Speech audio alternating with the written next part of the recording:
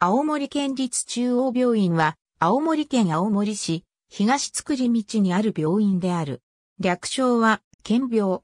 青森県内最大規模の病院であり、第一種感染症指定医療機関、機関災害拠点病院、第二種感染症指定医療機関、ドクターヘリ基地病院、救命救急センター、がん診療連携拠点病院、総合周産規模市医療センターを併設する。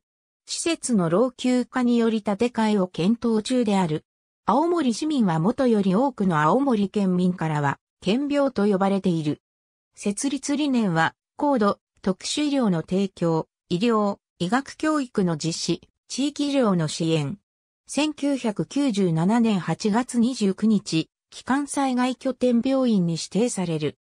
2004年10月、青森自動車道の救急車緊急退出路が完成し、味ヶ沢町や五所川原市などまでの範囲が県病に1時間で到達可能な地域に広がった。これにより、青森県内で高度医療機関まで1時間以内で到達可能な地域は人口カバー率で80%に達した。なお、この病院前の停留所は青森市のバス路線の結節点となっている。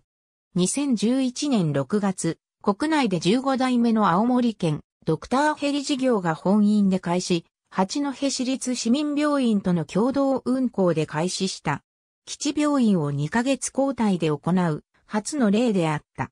2012年10月、ドクターヘリ事業が八戸市立市民病院との共同運行体制から2期相互協力運行体制になる。2013年5月、地域医療支援病院の承認を受ける。青森県立中央病院付近には、県立中央病院前バス停がある。